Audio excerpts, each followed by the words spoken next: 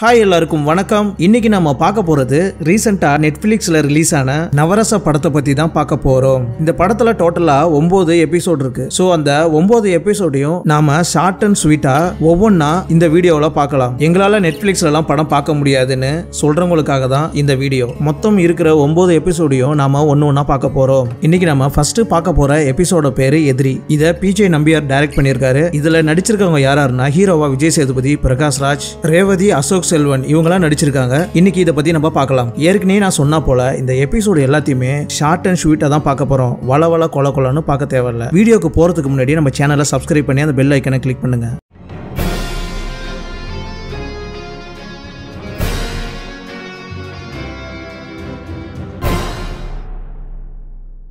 First சீன்ல double ஸ்கிரீனா காட்டுறாங்க. ஒரு ஸ்கிரீன்ல ரேவதி ஃபேஸையும் இன்னொரு ஸ்கிரீன்ல விஜய் சேதுபதி ஃபேஸையும் காட்டுறாங்க. ரேவதி இதுல ஒரு டீச்சர் அதே டபுள் ஸ்கிரீன்ல ரேவதி சின்ன பசங்களோட பேசிட்டு இருக்காங்க. இன்னொரு ஸ்கிரீன்ல விஜய் சேதுபதி ஸ்லோ மிஷனா நடந்து வரதா காட்டுறாங்க. அப்போ ரேவதி வீட்டுல ஒரு வேலைக்காரம்மா இருக்காங்க. அவங்க என்ன சொல்றாங்கன்னா என் புருஷன் வேலைக்கு போகாம இருக்காப்ல. அதனால என் குழந்தைக்கு ஃபீஸ் கட்டணும். உங்களை நம்பி தான் இருக்கேன். நீங்க ஐயா கிட்ட சொல்லி இந்த மாசம் சம்பளத்துல கொஞ்சம் ஏத்தி கொடுத்தா கொஞ்சம் நல்லா இருக்கும்னு சொல்றாங்க. அதே சேம் டைம் விஜய் சேதுபதி ரேவதி வீட்டுக்கு உள்ள வர அவன் ஹஸ்பண்ட் அவன் ரூமுக்குள்ள அழைச்சிட்டு போறான். உள்ள போனவன் அந்த ரூமோட கதவை லாக் பண்றான். இங்க அந்த வேலைக்கார அம்மா கிட்ட ரேவதி இதெல்லாம் ஒன்றும் ப்ராப்ளம் இல்ல. இந்த விஷயத்தெல்லாம் ஐயா கிட்ட சொல்ல வேணாம். பணத்தை நானே தரேன். நீ போய் வேலையை பாருன்னு சொல்றா. அப்புறம் ரேவதிக்கு ஒரு ஃபோன் கால் வருது. அந்த பக்கம் அவன் பையன் கல்யாணம் வச்சிருக்காங்க போல. சோ கல்யாணத்தை பொண்ணு வீட்டு சொல்ற மாதிரி நடத்த வேணாம். நம்ம எப்போதும் பிளான் பண்ண போல. கோயில வச்சுக்கலாம். இது அப்பாவை வச்சு பேச சொல்லுங்கன்னு அவங்க அம்மா கிட்ட சொல்றான். ரேவதி இதெல்லாம் காதல வாங்கிக்கிட்டு சரி ஓகேன்னு ரூமுக்குள்ள போனவங்கள காணும்னு அந்த ரூம் பக்கமா நடந்து போயிட்டு இருக்கா. ரூம் கிட்ட போன உடனே அந்த ரூம் டோர்ல கைய வச்சு கதுவை ஓபன் பண்ணும் போது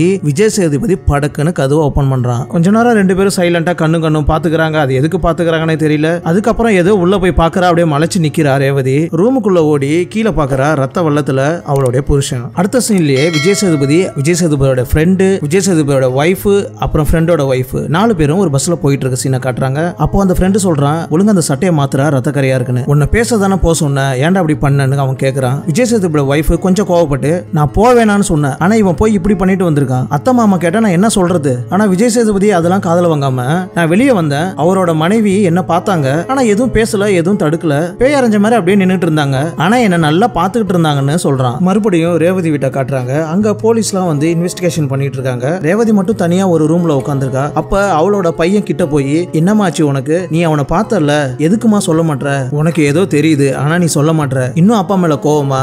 அப்பா செத்துட்டாருமா இப்பயாவது அவரை மன்னிக்கலாம். அந்த நேரம் அவனோட ஒய்ஃப் வந்து கூப்பிடுறா அங்கிருந்து அவன் போயிடுறான். ஆனா ரேவதி வாயே திறக்காம செல்ல மாதிரி உட்காந்துருக்கா அப்புறம் ரேவதி வீட்டுல இறந்து போனவருக்கு இறுதி சடங்குலாம் நடக்குது. அப்பயும் ரேவதி பேய் அரைஞ்ச போல தான் உட்காந்துருக்கா இந்த பக்கம் விஜய் சேதுபதி ஃப்ரெண்டு விஜய் சேதுபதிய பாட்டி வீட்டுக்கு அழைச்சிட்டு வரான். அப்போ ஒரு வாய்ஸ் வருது. அந்த வாய்ஸ் கட்டில படுத்திருக்கு. என்ன தீனா பேச மாட்டியா? பேச மாட்டியான்னு. அந்த வாய்ஸ் வந்து பிரகாஷ் ராஜ் வாய்ஸ் தான். நமக்கே நல்லா தெரியுது. உங்ககிட்ட பேச பிடிக்கல சார்னு விஜய் சேதுபதி சொல்ல நைட்டும் ஆனதுக்கு அப்புறம் பிரகாஷ்ராஜ் சும்மா பாட்டு பாடிக்கிட்டே விஜய் சேதுபதியை தூங்க விடாம பண்றது. விஜய் சேதுபதி ஒரு கட்டத்தில் கடுப்பாயி சார் கொஞ்ச நேரம் சும்மா பார்க்க மாட்டீங்களான்னு சொல்ல. ஆனா நைட்டு ஃபுல்லா பிரகாஷ் ராஜ் தொல்லை தாங்க முடியல. அட பாவத்தே காலையில விடிஞ்சிடுச்சு சோனு மழை பெய்யுது. அப்பதான் பிரகாஷ் ராஜ் முகத்தை காட்டுறாங்க. ஏன் இந்த கோவம் ஏன் இந்த கோவம் சொல்லுன்னு பேசுறத விடவே இல்லை. ஒருத்தவனை கொலை பண்ணிட்டு வந்திருக்கேன். ஒரே அடியில ஒருத்தவனை போட்டுட்டு வந்திருக்கேன். அதை போல நீங்க பண்ணிட்டு வந்தா இழிச்சிட்டு தான் இருப்பீங்களான்னு கேக்குறான். உன்னை பார்த்தா கொலை பண்ண மாதிரி தெரியலையே. ஏன் கொலை பண்ணன்னு பிரகாஷ் ராஜ் கேட்க அதுக்கு விஜய் சேதுபதி அவன் சாவு என் கையில தான் எழுதியிருக்கு. அதுக்கு நான் என்ன பண்ணேன்? எங்க அண்ணன் செத்து மூணு வாரம் ஆகுது. அதுக்கு அவன் தான் காரணம். ஒரு கவர்மெண்ட் லோனு அந்த ஆளு கை காட்டின காட்டினவனுக்குலாம் எங்க அண்ணன் பணத்தை வாரி வாரி இறைச்சான். எல்லாத்தையும் வித்து லாஸ்டா நடு ரோட்டுக்கு வந்தான். கீழே இருந்த குடும்பத்தை எப்படியாவது மேல கொண்டு வரணும் ரொம்ப கஷ்டப்பட்டான். கடைசியா அந்த நம்பிக்கை அந்த ஆளு உடைச்சிட்டான். எங்க அண்ணன் தற்கொலைலாம் பண்ணிக்கிட்டு சாவல. இந்த ஆள் தான் அவன் கழுத்துல கயிறை மாட்டி கீழே இருக்கிற ஸ்டூலை எட்டி உதைச்சான். அந்த ஆளை பார்த்து நாலு கேள்வி கேட்கலான்னு தான் போனேன். அவன் செத்துட்டான். அவன் குடும்பம் எந்த நிலைமையில இருக்கு? ஏதாவது அவன் கண்ணுல பாவம் பரிதாபம் தெரியுதான்னு பார்க்கலான்னு தான் போனேன். ஃபர்ஸ்ட் உனக்கு பரிதாபம் பாசம் அந்த இறக்கம்லாம் உனக்கு இருந்துச்சான்னு பிரகாஷ் ராஜ் கேட்க அந்த ஆளை பார்க்க போனப்ப அவன் சொல்றான் ஒன்றை மாரி நூறு பேர் வெளியில சுத்திக்கிட்டு இருக்கானுங்க. அவனுக்கு எல்லாரையும் தாங்கிக்கிட்டு என்னால இருக்க முடியாது. அது கூட பரவாயில்ல. கடைசியா ஒன்னு சொன்னாரு. உன் அண்ணனை போல கோழையா இருக்கிறவன் வாழவே தகுதி இல்லைன்னு. அவன் இப்ப செத்தானா எப்ப செத்தேன்னா தூக்கி போட்டு போடான்னு. அந்த வார்த்தையை சொன்ன அடுத்த நிமிஷம் வரைக்கும் அவன் தலையில இருந்து ரத்தம் பிச்சுக்கிட்டு வர வரைக்கும் அதுக்கப்புறம் என் கண்ட்ரோலே இல்லை. அப்படி சொல்லிட்டு இருக்கும்போதே அவன் அந்த ஆளை அடிச்சு கொள்ளுவான அந்த சீனை காட்டுறாங்க. அதுக்கப்புறம் பிரகாஷ் ராஜ் லாங்கா ஒரு டைலாக் பேசுறாரு. சின்ன வயசுல சில சண்டையெல்லாம் போட்டிருப்ப நிறைய பேரை எதிர்த்து உங்க அப்பா சண்டை போட்டது உங்க அம்மா உன்னை திட்டுனது எல்லாத்தையும் நீ மனசுலயே வச்சு புதைச்சி கடைசியா இதை போல ஒரு வன்மத்தை நீ காட்டுற. அப்படியே இந்த லென்த்தான டைலாக பேசும்போதே அப்பதான் அந்த செத்து போன யாருன்னு அந்த மூஞ்ச காட்டுறாங்க? அந்த மூஞ்சும் பிரகாஷ்ராஜ் தான். அப்பவே நமக்கே தெரியுது. அட பாவத்து பெரிய ட்விஸ்டர்ல இருக்கு. இவ்வளவு நேரம் செத்து போன பிரகாஷ்ராஜ் தான் விஜய் சேதுபதி கிட்ட பேசிட்டு இருக்காப்ல. அந்த சீன்ல பிரகாஷ்ராஜ் பெருசா ஒன்னும் சொல்ல எல்லா படத்துலயும் சொல்ற அந்த டைலாக் தான். இவ்வளவு கோவம் வன்மம் இதெல்லாம் வச்சுக்கிட்டு நீ என்ன கொன்னுட்ட? என் குணம் தான் உனக்கு பிடிக்காது. ஆனா என் உடம்பு இல்ல. ஆனா நீ என்ன கொண்டுட்ட இதுக்கப்புறம் உன்னோட கடை கடைசி வரைக்கும் நான் உன் கூடவே தான் வருவேன். அப்படியே சொல்லிட்டு பிரகாஷ்ராஜ் ஒரு பழைய பாட்டை ஒன்று பாடுறாரு.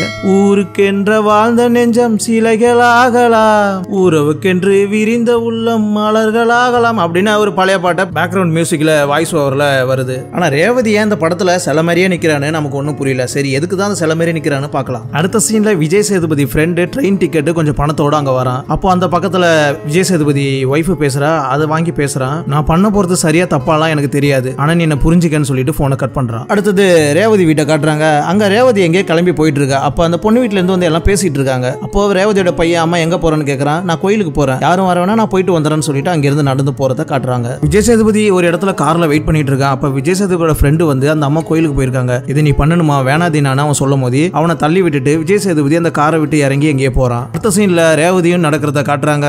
அப்படியே அந்த ஸ்கிரீன் டபுள் ஆகுது. டபுள் ஸ்கிரீன்ல ரெண்டு பேரும் நடந்து வராங்க. அதாவது ரேவதி ஒரு ஸ்கிரீன்ல விஜய் சேதுபதி ஒரு ஸ்கிரீன்ல ரெண்டு பேரும் போட்டி போட்டு நடந்து வந்துட்டு இருக்காங்க ஆனா எங்க தான் போறாங்கன்னு தெரியல. எங்க தான் போறாங்கன்னு பார்க்கலாம். ஒரு வழியா ரேவதி நடந்தே கோயிலுக்கு வந்து சேர்ந்துடுறா. பின்னாடி பார்த்தா விஜய் சேதுபதி அம்மா அம்மான்னு கூப்பிட்டு ரேவதி திரும்பி பாக்குறா என்ன மன்னிக்க வேண்டிய சாமி நீங்க தான். நீங்க மன்னிச்சிட்டா போதும். எந்த நரகத்துக்கு வேணாலும் நான் போக ரெடின்னு விஜய் சேதுபதி சொல்றான். ரொம்ப நேரத்துக்கு அப்புறம் ரேவதி இப்பதான் பேச ஆரம்பிக்கிறா. ரேவதி ஃபர்ஸ்ட் சீன்ல பேசுனது தான். அதுக்கப்புறம் இந்த படத்துல இருபது நிமிஷமா பேசவே இல்லை. அதுக்கப்புறம் இப்பதான் பேச ஆரம்பிக்கிறா. என்ன சொல்றானா என் புருஷன் உங்க அண்ணனுக்கு உதவி செஞ்சிருக்கலாம். அப்படி உதவி செய்யலனா கூட கொஞ்சம் நம்பிக்கை கொடுத்துருக்கலாம். அதுக்காக உங்க அண்ணன் தற்கொலை பண்ணாம இருந்திருக்கலாம். நீ எங்க வீட்டுக்கு வராம இருந்திருக்கலாம். என் புருஷன் உன்னை தப்பு தப்பா பேசாம இருந்திருக்கலாம். அப்படி தப்பு தப்பா பேசியிருந்தா கூட நீ கொஞ்சம் பொறுத்து இருந்திருக்கலாம். ஏதோ ஒரு சின்ன சண்டைக்காக பத்து வருஷமா என் புருஷன் கூட நான் பேசாம இருந்திருக்கேன். என் புருஷனை நான் தான் கொன்னேன். அந்த ரூம்ல சத்தம் கேட்டுச்சு. அப்பவே நான் உள்ள வந்து உங்க ரெண்டு பேருக்கும் நடக்கிற சண்டையை நான் தடுத்து நிறுத்தி இருக்கலாம் அப்படின்னா செய்ய வேண்டியது எதுவுமே செய்யாம இருந்திருக்கேன். நான் என்ன உன்னை மன்னிக்கிறது தண்டிக்கிறது? எனக்கு அந்த உரிமை இல்லைன்னு சொல்லிட்டு அங்கே இருந்து போயிடுறா. ரேவதி போய் சாமி கும்பிடுறா. விஜய் சேதுபதி அங்கேயே நிக்கிறான். இதோட அந்த எபிசோட முடிச்சிடுறாங்க. இந்த எபிசோடு உங்களுக்கு பிடிச்சிருந்துச்சுன்னா நம்ம சேனலில் கமெண்ட் பண்ணுங்கள் லைக் பண்ணுங்கள் ஷேர் பண்ணுங்கள் அண்ட் சப்ஸ்கிரைப் பண்ணி அந்த பெல் ஐக்கானை கிளிக் பண்ணுங்கள் அடுத்த எபிசோடில் உங்களை சந்திக்கிறேன். தேங்க்யூ